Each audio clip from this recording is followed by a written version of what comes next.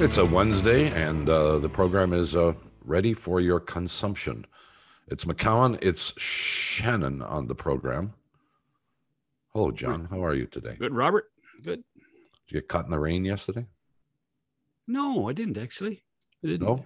No, no. I just uh, I dodged it. I dodged it everywhere I went. So Well, I went to my um, new abode yesterday out in your neighborhood, and on Uh-huh. the way back, uh, went through a uh, a significant thunderstorm. it, it was a good one. oodles of rain. Uh, but um, the prospects for the rest of the uh, week are uh, not terrible. So let's hope things continue Hmm. in that direction. Holiday weekend. Uh, Bianca Andreescu is um, becoming a, a very curious case. Uh, this young woman who, at age, I believe, 19, won the United States Open, who went on a run of, um, I don't know if it was a year, but a significant run of success, who looked like she might be the next superstar of women's tennis, who certainly appeared destined to be the best Canadian player um, historically that we've ever seen, has been stubbing her toe with great regularity, and that continued as she got crushed in round one at Wimbledon.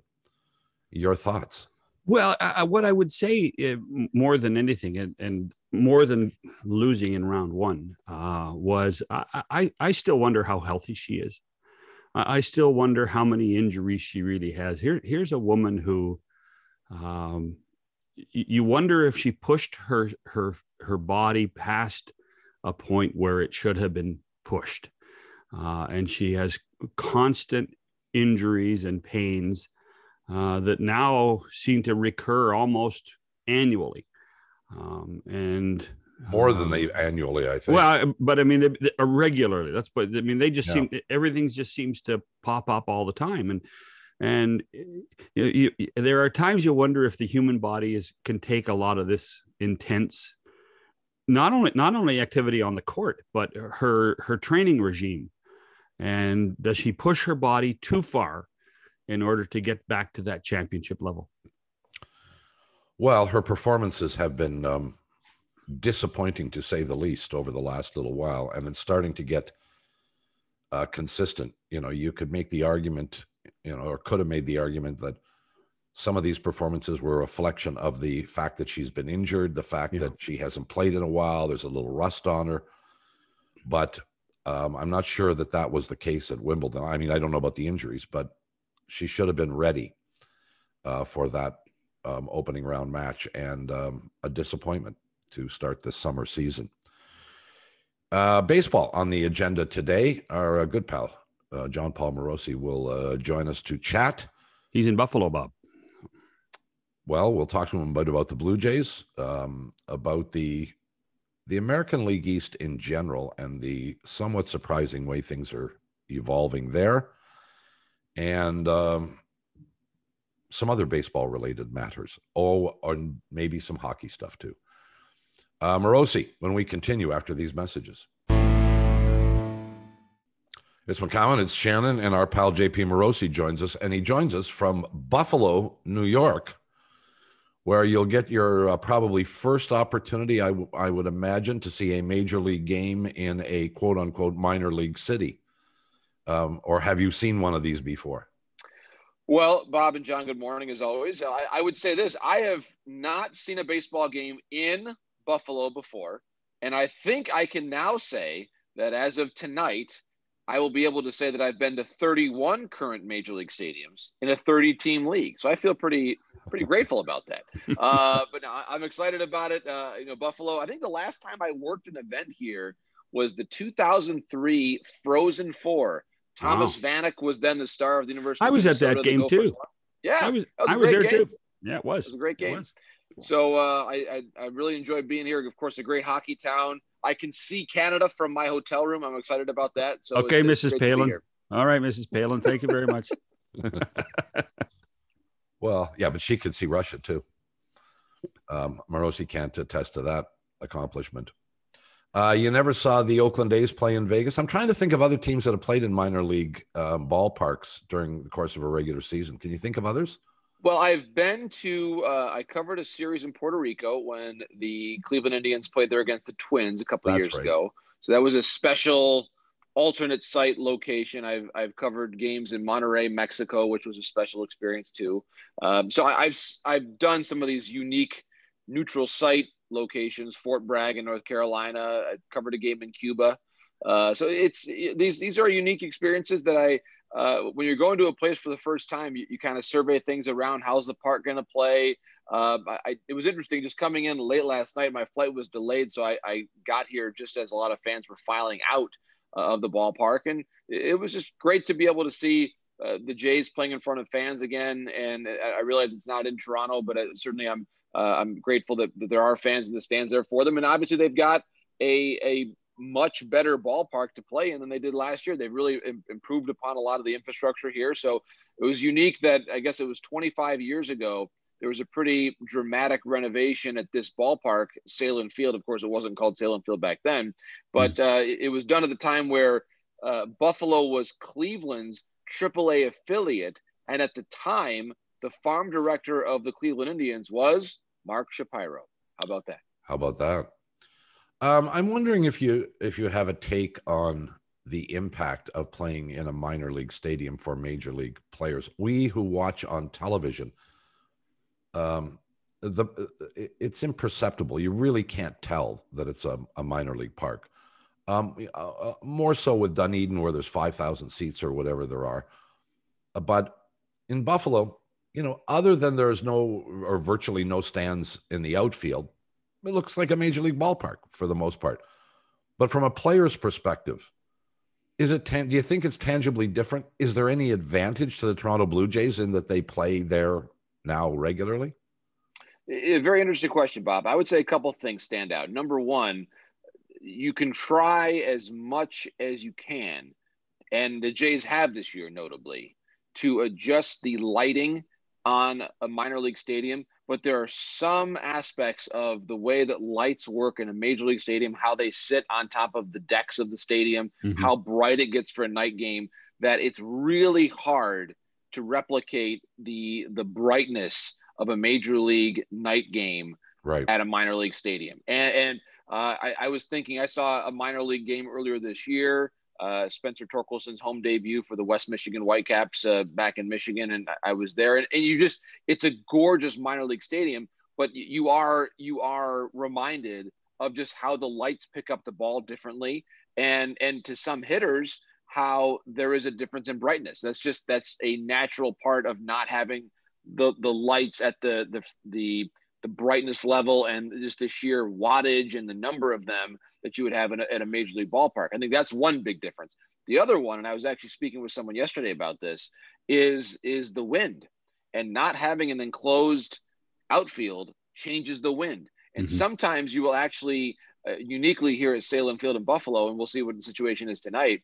You sometimes have the wind blowing in, potentially off the water from one field and then out to the other. So it really creates a, a swirling effect because it doesn't have that infrastructure to block the, the wind out in the outfield. So I think that's going to be one of the unique things about being able to be here and report for our YouTube broadcast, uh, the Mariners and Blue Jays, is to be able to convey to, to the viewers what the wind is doing and, and how uniquely uh, it's affecting the players on a particular night. Well, the, the, the key phrase uh, because if you live in Western New York, you you grew up and you learned about the Bills, and you learned about the Sabres, uh, and you learned about lake effect.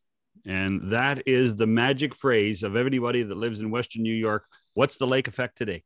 And you can, in the particularly in the middle of winter, you can be five five minutes from downtown and it could be sunny, and you drive through downtown and you're in the middle of a blizzard because it's coming right off of Lake Erie. So that's uh, that, and lake effect exists in the summertime. No matter what, you'll see the storm coming and disappear in about three minutes so unique. And, and of course, as, as you both know, Buffalo has been mentioned in the past as a potential major league expansion site. Not as much recently, but back in the early 90s, mm-hmm. uh, actually, uh, as preparing for this game, a couple things I did. I, you know, I, I, learned about some of the older stadiums in, in, Buffalo. Of course, the War Memorial Stadium where the Natural was filmed, yeah. uh, which has now basically been changed into a high school stadium, uh, almost similar to what they did in San Francisco for Kezar Stadium, which is up there in uh, near where the UCSF hospital Park. is. Golden right, Gate exactly. Yeah, exactly. Uh, so that was one unique thing uh, about what the old War Memorial Stadium has become. And the other thing, and this was a lot of fun,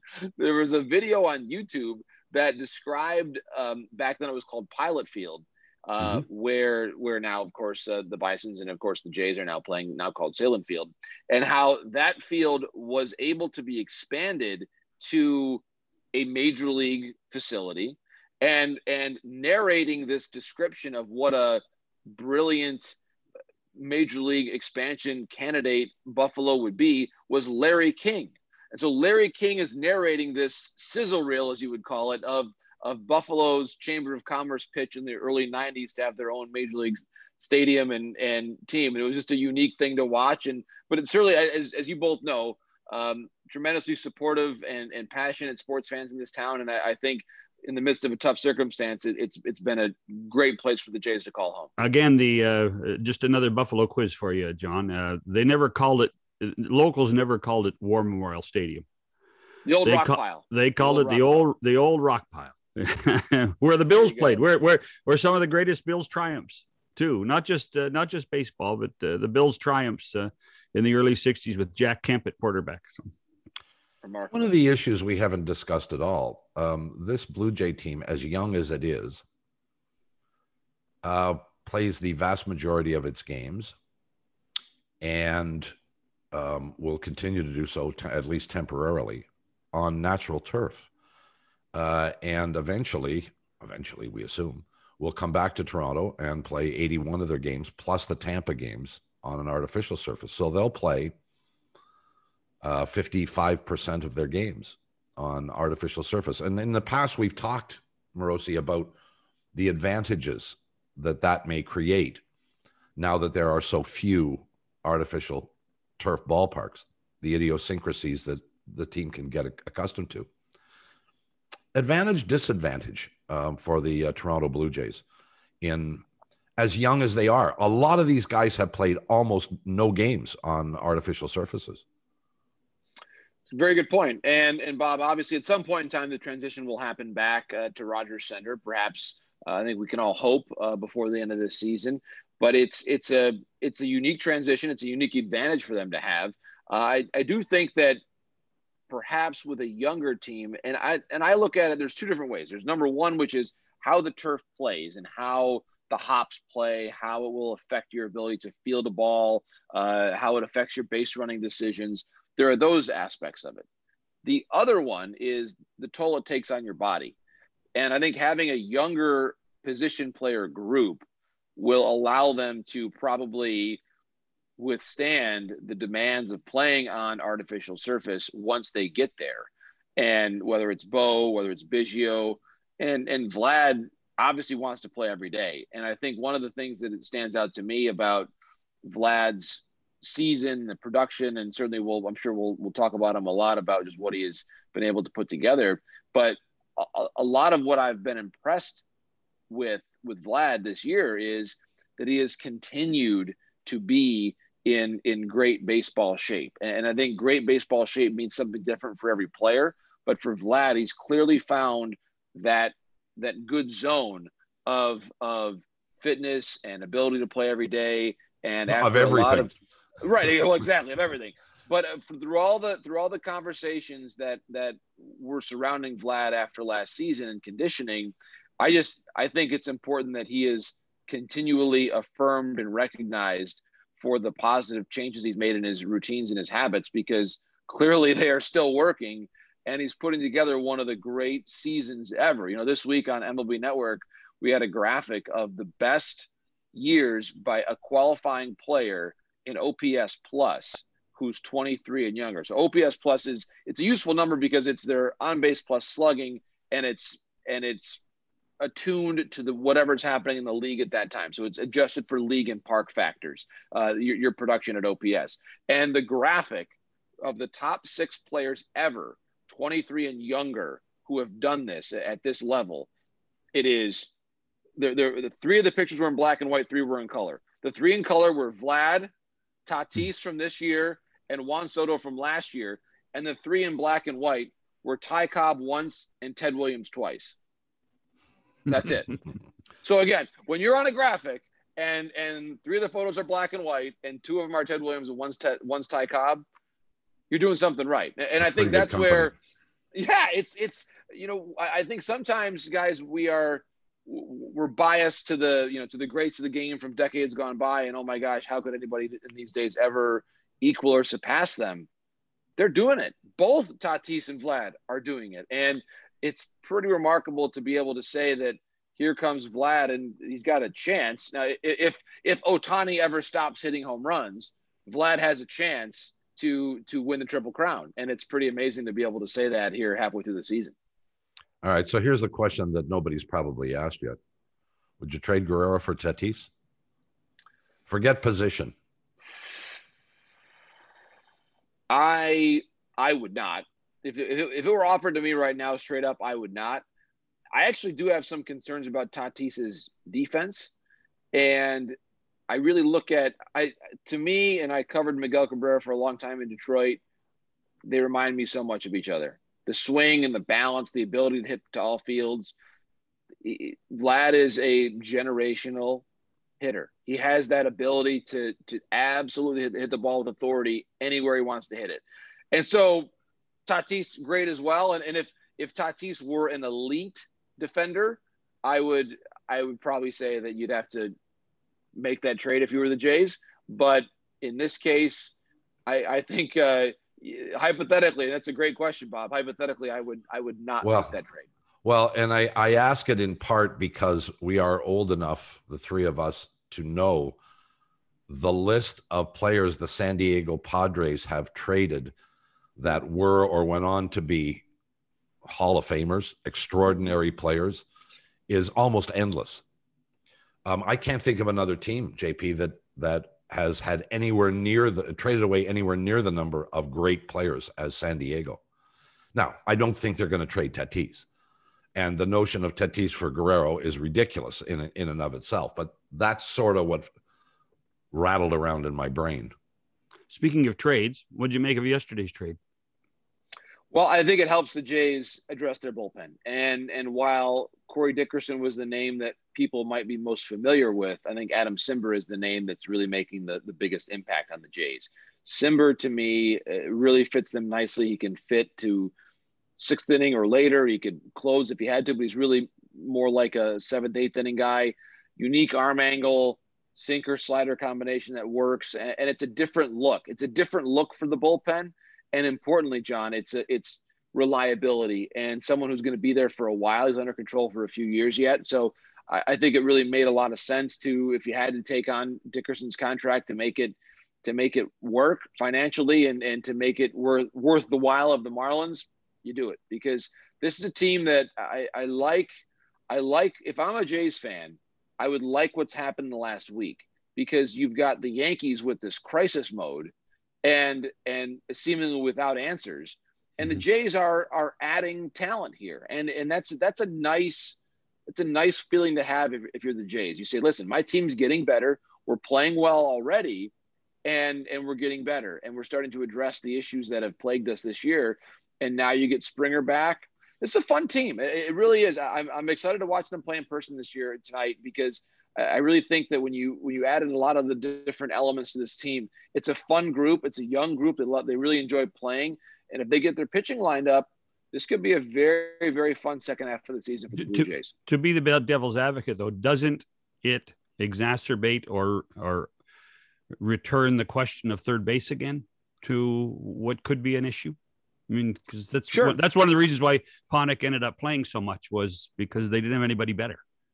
Right, and obviously Espinal's gotten some starts over there, and and we'll see. I, I think one thing to point out is that perhaps as the as the Jays improve internally, are they able to move some different pieces around? Could you?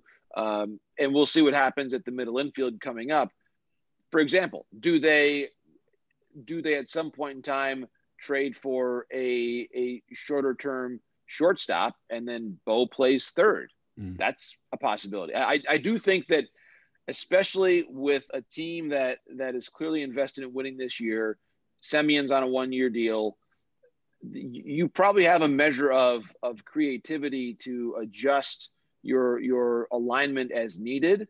And I think Bo is already on record as, as saying, "Hey, what makes the team better, I'll do." And I think it's great. It reflects very well on Bo that he would say that.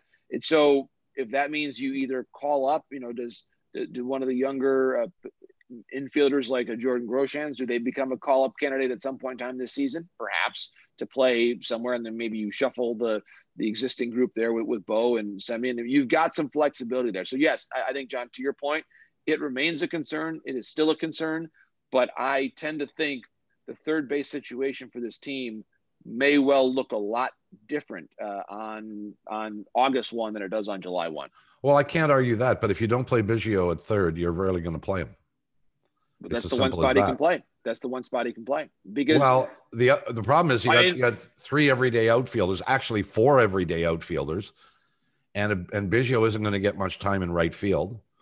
They called Davis back up. Now I think that's I think we all think that's just a temporary thing.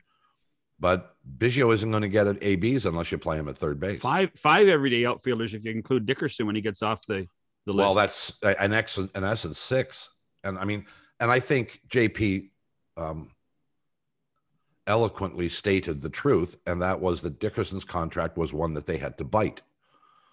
And um, frankly, do you see him playing on any kind of regular basis with the Toronto Blue Jays when he's healthy? He could. And this is obviously a very right-handed lineup, uh, and so to mix in a, a, lefty bat is is helpful. It gives better balance. Sure. Does does he have some DH days? how does that fit in with obviously production they've seen from Tellez during the course of the year? There's there's a lot of different things to weigh out, but I think in general, to add a veteran lefty bat who Charlie Montoyo knows from his time with the Rays, it's he, he fits. I think to, your, to what we've already discussed, they, they were not going to go out and get Dickerson all by himself. Mm-hmm. This had to be part of a larger deal that made their bullpen better, and, and they also expect that uh, with Borucki coming back, that they believe that the bullpen will get better. So it's it's an interesting time right now, and I, I, think that John and Bob, you're exactly right about Biggio's role. I mean, third base right now has to be the spot that he forces his way into the lineup because if he can't do it there, he can't do it anywhere. Uh, to, to, borrow the saying, and, and, I think that with with the way that the rest of the infield looks, uh, you're pretty well fixed in with, with with Vlad and with Semien and Bichette. So that's that's the one spot. As the outfield gets more crowded, that's the one spot that Cavan can hopefully carve out a niche for himself here going forward. Let's take a quick break. We'll come back with more. JP Morosi is with us back after these messages. It's McCown and Shannon. It's Morosi, uh, who joins us from uh, Buffalo, New York. Uh, you are um, involved in the uh, broadcast tonight, the YouTube broadcast, yes? Yes, yeah, it's a lot of fun. It's a fun format. It's going to be a, uh, a, a Statcast themed uh, YouTube broadcast tonight. Uh, I think we have four people in studio Brian Kenny, Sarah Langs, Ryan Roland Smith, and Mark DeRosa. They'll be there. And I'll be uh, our presence on the site here to help uh, tell some stories locally. So it's, it's a fun, it's really a fun role. I, have enjoyed my travels this year, getting back to the ballpark and, and uh, being able to contribute some of my observations from the, from the stadium itself. Um, of course, I have watched this baseball team, this Toronto Blue Jays team, since day one and um, uh, you know you got two World Series back to back. You've got the 15 and 16 teams uh, that were obviously very good. Um, and you can go back to the 93 season, I guess, 92, 93 seasons, and look at the lineup that the Blue Jays were able to put out there. That was pretty impressive. I'm just not sure I've ever seen a Blue Jay team that is this impressive offensively from top to bottom. There are no holes in this lineup right now, not a single one. And I'm not sure. I mean, is there a better lineup in baseball today than this one? It's a great question, Bob. I, I don't see one that's clearly better, especially now. And, and when you consider the absences of, over the year of, of Hernandez and, and most notably Springer, and when they're all together now, it's it's something to behold. Mm. It really is. And and Vlad, of course, makes it all sing. Sure. I, I, I wonder too, guys, and, and again, he might win the triple crown this year, but we could say potentially halfway through, is this the best first half ever by a Blue Jay hitter? It might be. Hmm. I mean, it's it's it is it is something extraordinary what he has done. And you think about all the great players the Jays have had. I'm not sure anybody has ever been better over the first half than what we're seeing from Vlad right now. It's it's a pretty historic level of production. Well, you did have that one occasion where you that one year where you had the top three hitters in baseball, average wise, were all Blue Jays. Mm-hmm. But their dominance was not like this. They didn't have the home run power. They could all hit home runs. They but it was power. Molitor, uh, Alomar, and Olerud, I right. guess, were the top three. None of them had this. I mean, this guy, this guy has a chance to be all world. Maybe he is already. I don't know. Well, I, I, think he is, and and the the interesting thing too is you consider where we're at offensively in the game, and this is where there are a lot of different conversations around baseball right now. Obviously, the the the sticky substances and other things that are that are of concern, but when you look at the this young superstars in this league right now and what Ohtani is doing with the Angels, what Vlad is doing here, what Tatis is doing with the Padres, what Acuna does with the Braves. I mean, that's those are four in their prime young superstars that when you consider what they're all doing, you know, while the game has some things that that has to work through from a fundamental standpoint, there's a lot to like. There's a lot to like about baseball right now. And I, I think the game, the, the, MLB, in a lot of ways, is doing a very good job of marketing these young stars.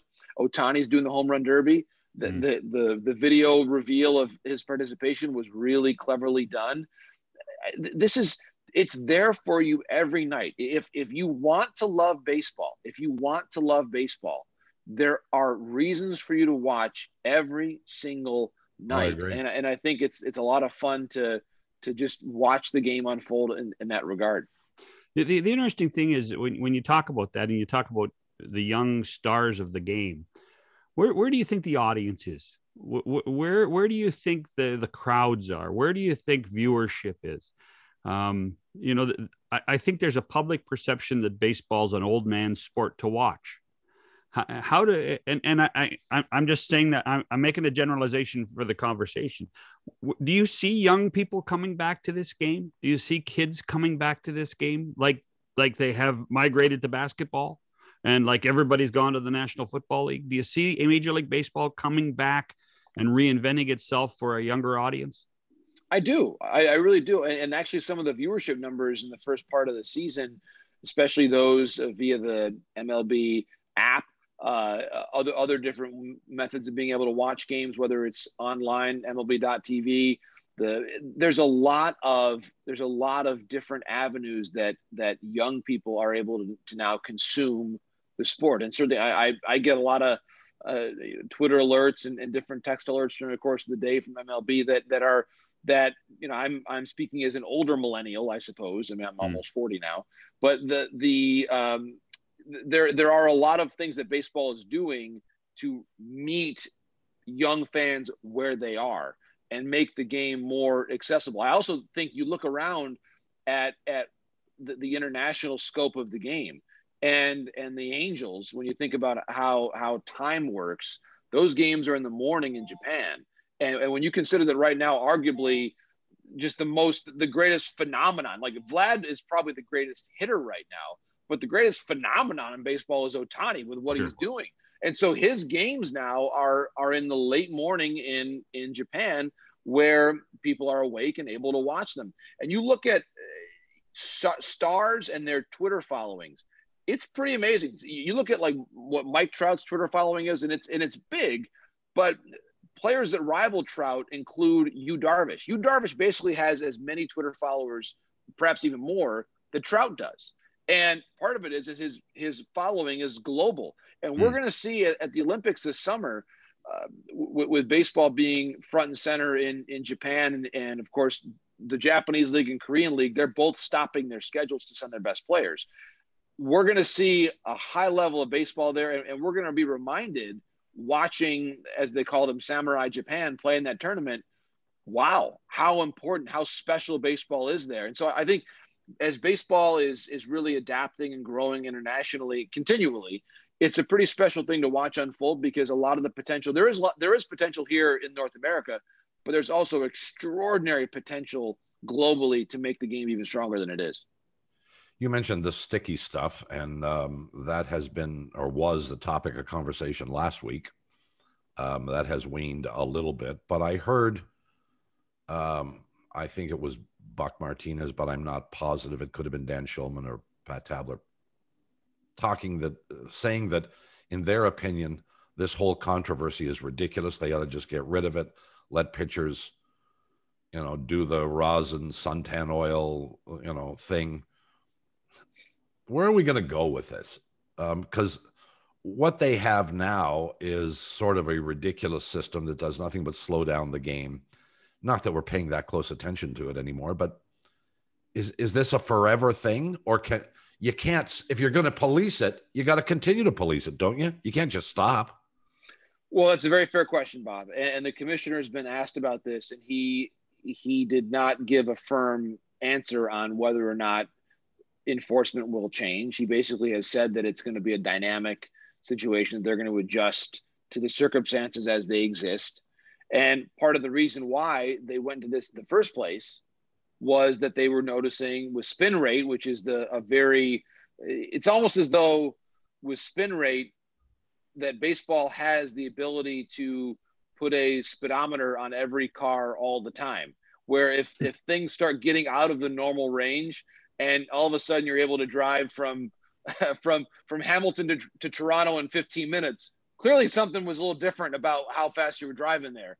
And and I think that's that's sort of the the rationale here, where baseball with the data they get in real time all the time, they could say, wait a minute, everybody's everybody's RPMs on their on their spin rate went as soon as we said we were going to move away from from examining pitchers every day, uh, their spin rate went off the charts again. Well, I guess we have to have more reinforcement because uh, and more enforcement because we're seeing what's happening. So I, I think while it's it's a difficult thing to enforce all the time, baseball with the spin rate and a lot of the the statistical analyses they have the tools at their disposal to make adjustments and and to at times ramp up enforcement or let things go for a little bit. And I think at the end of the day, one of the important things is that in the month of June, spin rates have gone down and offense has gone up. So for all the controversy, and I realize the Hector Santiago suspension has been a big story in baseball this week. That's one suspension of more than 300 pitchers who have been checked basically in the yeah. last week or so. So one out of 300 is not a is not an extraordinary problem, and clearly it's having the desired effect because more balls are being put in play. I'm well, just I'm just me, concerned of the uh, the the, uh, the use of the challenge. You know, the, the watching Scherzer undo his belt, watching Romo undo his belt, drop his pants. I mean, all, all this stuff. That I mean, when when uh, opposition managers use it as a tactic. I mean, that's that's not kosher in my mind.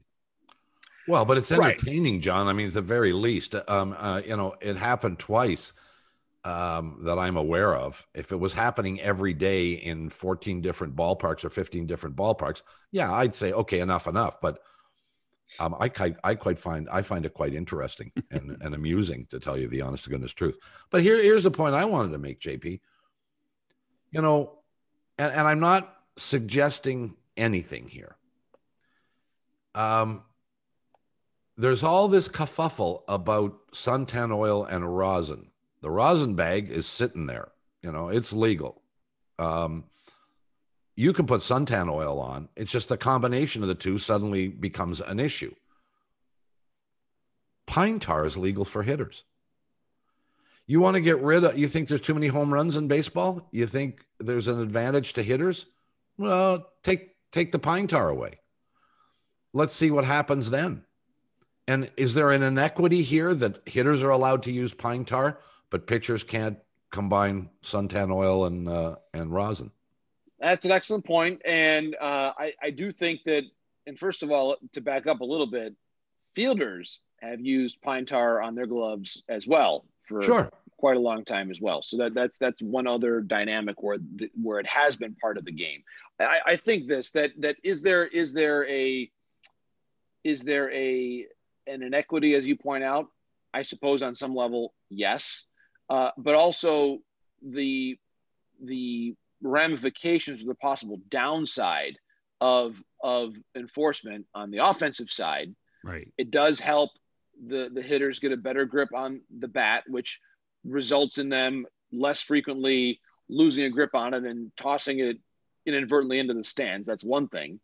Uh, I, I also think that it that we're at a time where the pitchers are so advantaged that giving the hitters the advantage of being able to grip the bat with pine tar is is acceptable in the minds of of and we're trying to sell offense people. And right, we're trying exactly. to sell offense.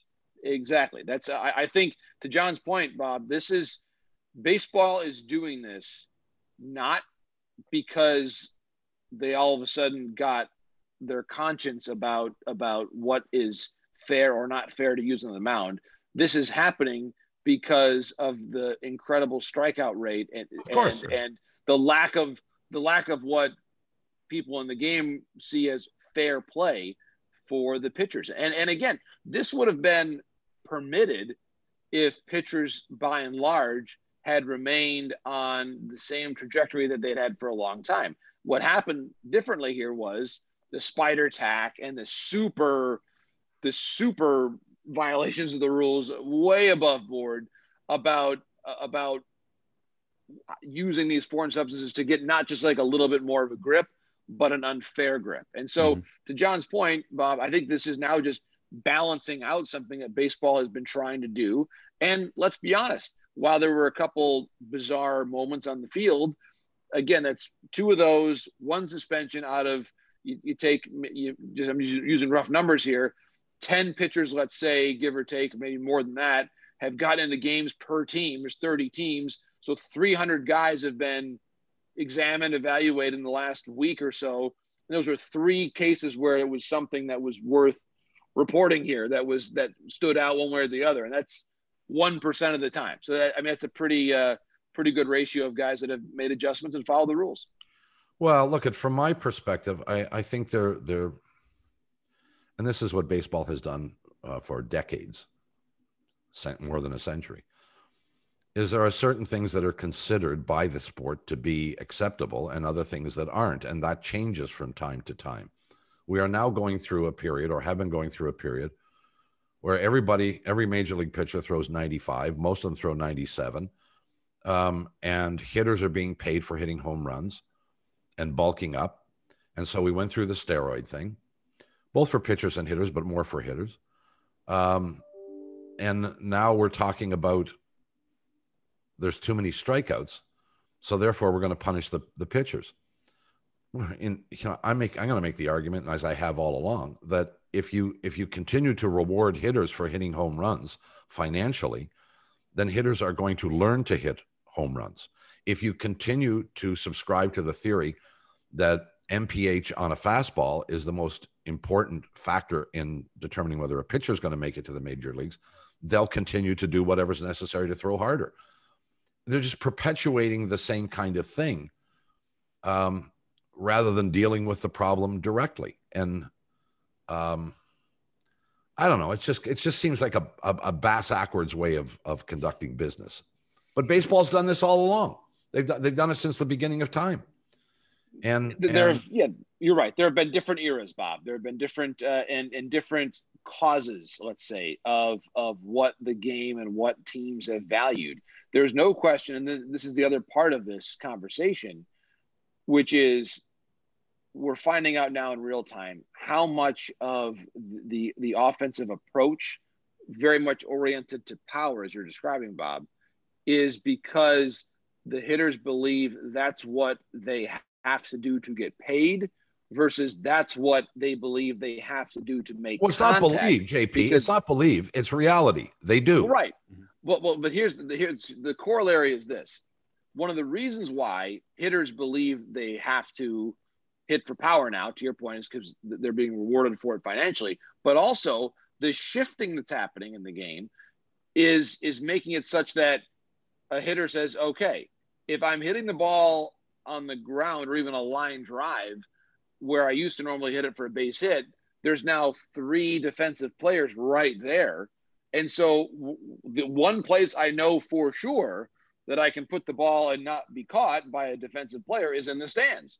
And so that's part of the reason why we're seeing offensive players take that approach because they know that's that, that if they hit it over there, they're not they're not going to be out. And and I, and I think that's where the the illegal defense idea that's been mentioned at the at the minor league level. I do think Bob and John, uh, there might be some steam behind that going forward.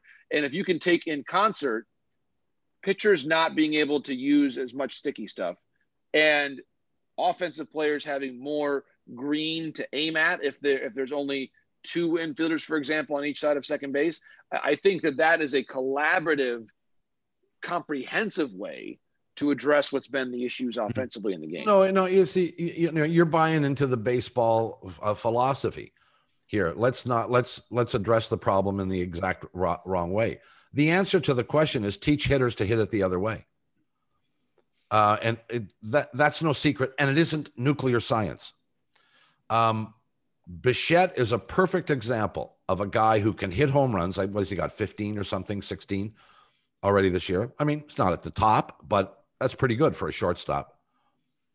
John, how many times have we seen Bichette hit it the uh, to the opposite field, hit it to right field?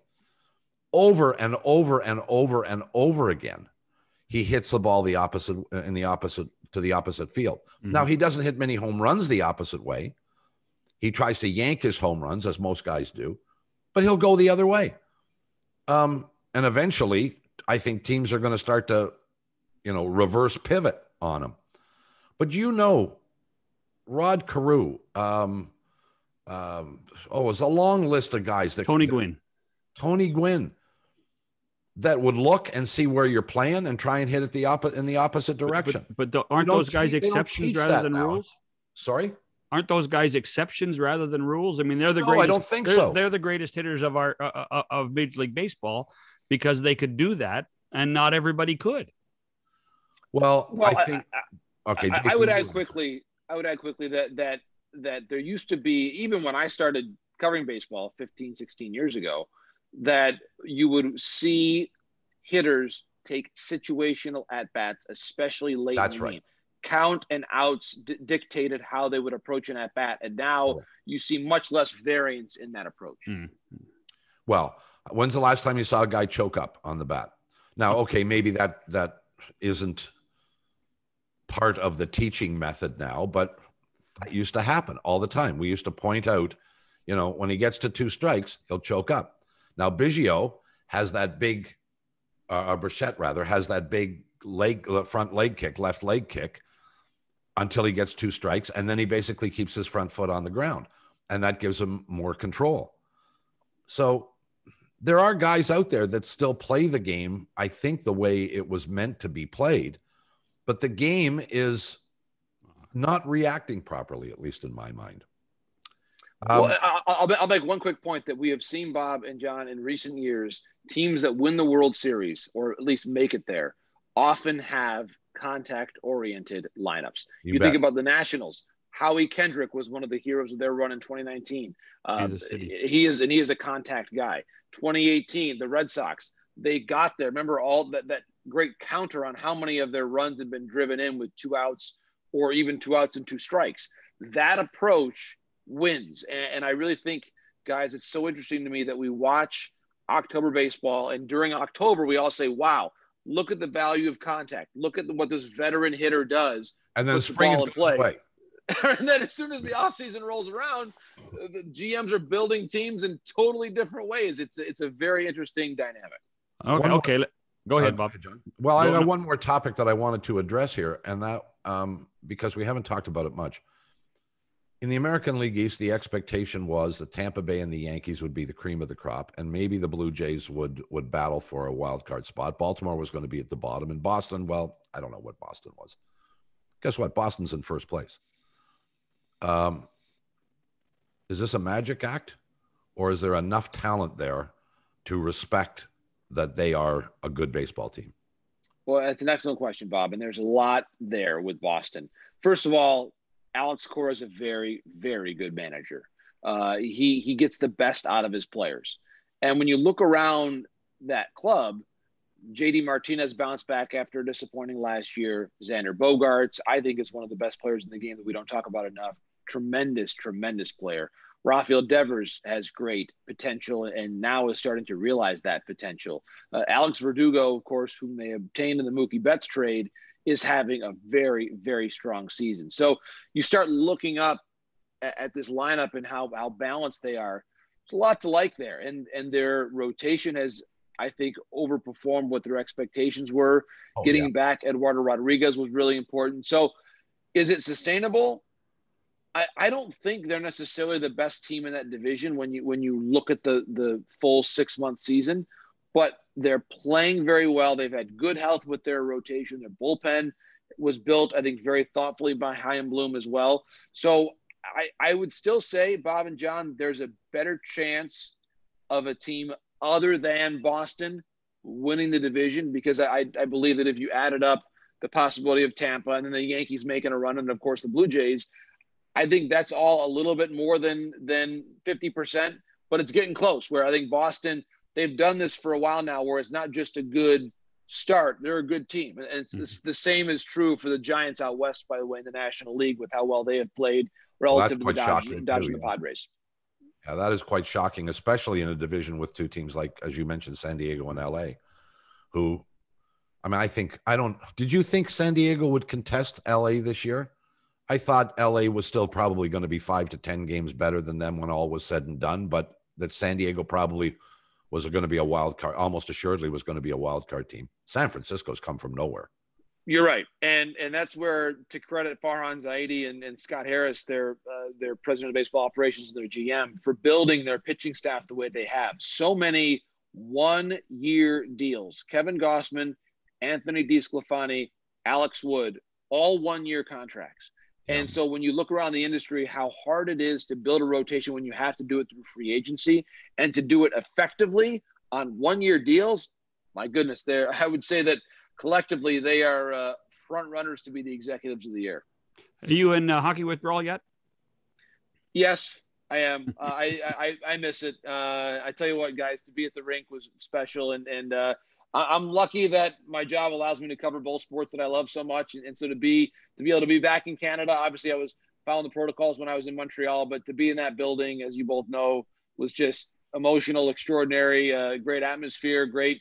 The, the fans there, as we know, are just incredible. So just everything about the experience and the emotion of being there and looking up at the banners and mm. and and then Vegas was was great too. That was a lot of fun to be in that atmosphere and and uh, Pietrangelo had just an amazing, amazing series. I thought, you know, he obviously his team didn't win, but I don't know if anybody outside of Carey Price was better in that series than Alex Pietrangelo. No, you're not wrong. No, do you, do you think Montreal has a chance? No. Sure. Based on what I, you've I seen? Yeah. Because it, it, here's the thing. They a couple things on that. Number one, they they lost they lost game one to Vegas in a very similar fashion to the way they lost game one of this series. But the one difference that I would say, and and and and why I probably see Bob shaking his head. I mean, nobody on Vegas is as good as Brayden Point. No one. And and I think that Brayden Point is someone that that the Habs have not seen yet in these playoffs. And Brayden and Point is, may not be the best Tampa Bay Lightning player. Right. There's. I mean, you could argue. I mean, you could argue a couple others are, are right. right in that conversation. And right. and by the way, you're seeing great play from Cirelli's been fantastic. I mean, there, there's a lot of even the guys that you're not necessarily looking at as, as all stars perennially are are playing great for them. So I, I, think overall there's there's a lot to like about just the, the overall brand that they're playing right now in, in Tampa Bay. Oh, well, let me let me tell you to you two dummies exactly what's happening here. Um, Vegas's offensive output from its forwards uh, disappeared completely, and they couldn't overcome that. If you think Tampa Bay's forwards are going to go to sleep. You, you got another thing coming. They are at a different level. Um, I mean, I think we underestimate how good this Tampa Bay team is. I, I mean, they're defending Stanley Cup champions, but I, I think we kind of take them for granted. But when you watch them night in and night out, boy, they are impressive.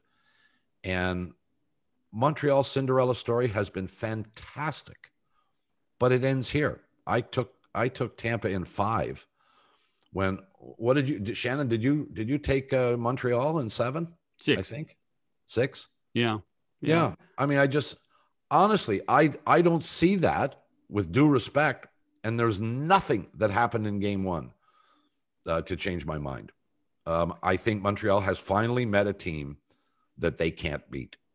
Well, and and plus their Tampa's goaltending is more consistent than what Vegas's goaltending Sure, was. And sure. and and again, is it a different series if if Lehner starts Game Five? Maybe, maybe. I think Lehner of the two in that series was much more consistent than Fleury was, especially in the area of rebound control.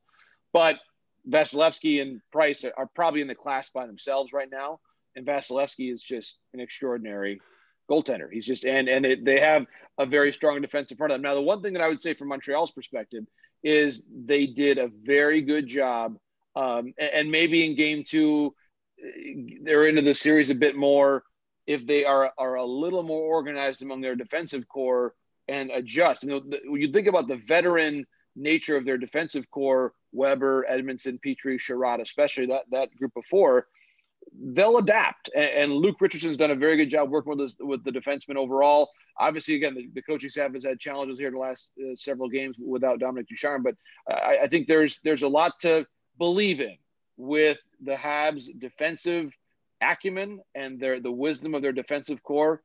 I think they've got a chance to win this game too and make this a, a much more competitive series. You know, I tell you what, to me, you talked about how good Alex Pietrangelo was.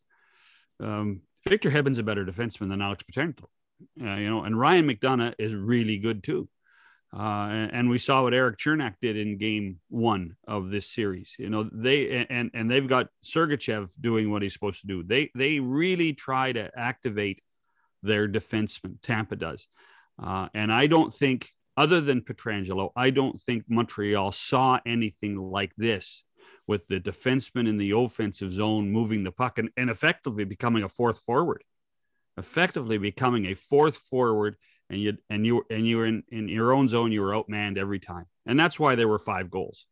Uh, that that to me is the the biggest difference is how Tampa uses its defensemen right now, and and whether Montreal's top four guys, the guys you mentioned, by the time by the time we get to game two, how tired are they already after the playoffs they've run? Because they've they've run them well and they run them hard for the first three rounds. And can those four guys keep it up? I, I guys, I you know, in conclusion, I would say, uh, do not undersell the notion that uh, the Tampa Bay Lightning may be considered in the in a year or two or three from now as among the great teams of in the history of the National Hockey League. If they keep this thing together, and it doesn't seem to be any reason why they won't, they're really good. You know, we may be talking about them in the same breath as the Edmonton Oilers or the New York Islanders or the Montreal Canadiens or any of the the well, intermittently the Chicago Blackhawks. Um, I think they I think they have every chance to be that good. The cap is the only thing that might kill them. The cap might kill them. Yeah. Well, yeah. and and don't don't forget don't forget don't forget who built the foundation there and and where he is now. Oh, oh yes, there we go. The Michiganders coming through. There he is. Uh, oh, there's a little. There's a be an ode to Stevie Y tonight on YouTube. You know. the question is, can lightning actually hit the same spot twice? Oh, lightning! I didn't even think about that. Um, Morosi, you look beautiful. Um, uh, uh, glad you're uh, nearby. Sorry you can't cross the border, uh, but um, we'll, uh, we'll we'll hopefully see you soon enough. And uh, thank you as always for spending a few minutes with us today. We always appreciate always appreciate it. Likewise, my friends. Always enjoy our conversations, and, and thanks for letting me get in some hockey thoughts. You, you know that uh, it's uh, very special to me. So thanks it's for, the uh, only reason we you, thanks you, you, you double you could double dip today. That's why we did it. I, I appreciate it, guys. Always enjoy the conversation. Uh, Have a great one. Thanks for having me. Go get some buffalo wings. uh, JP Morosi, we'll come back and wrap it after these messages. Well, we always go down uh, of a whole variety of roads with um, with Morosi. Uh, we didn't discuss Ohio State, Michigan football, Thank goodness. but um, uh, that will come soon enough, as we have discovered, John. Like the four like the four seasons of uh, of uh, of of the year, Ohio State Michigan becomes a conversation with you and Morosi. So Well, not necessarily at this time of year, but you know, you blink and then it's on it's on you. Hmm. Uh, you know, uh, the Canadian Football League is about to to Yep. relaunch. Uh, National Football League training camps are not that far away. Hmm. You know, it's just uh, the time goes by and um, and you're on to other subjects at other times. Well, it also feels it's shortened because both the NBA and the NHL are probably four weeks later than they normally would be too, right? So that that gap, if there is ever a gap between sports, is even that much shorter right now. Uh, very quickly, Doug Smith's going to join us tomorrow. Yes, Doug's in Victoria. We're going to talk about uh, Canada's basketball uh, journey to try to get to Tokyo and uh, maybe a little Raptor talk. Yeah, last night um, Canada beat Greece, uh, not as dominantly as perhaps they would have wanted, but nonetheless a victory. They will play China tonight, which could have been, may still be, um, an obstacle, although the Chinese don't have many of their best players available for this. Um, so one down and what three to go? Three, three to You go. have to win four in order to get there. Mhm. And there's there's no no options. You got to win them all. Uh, so we'll uh, we'll see whether Canada prevails uh, tonight, and then talk to Doug Smith about it tomorrow. We hope you'll Mhm. join us for that. For Shannon McCown, have a great day. Bye bye, everybody.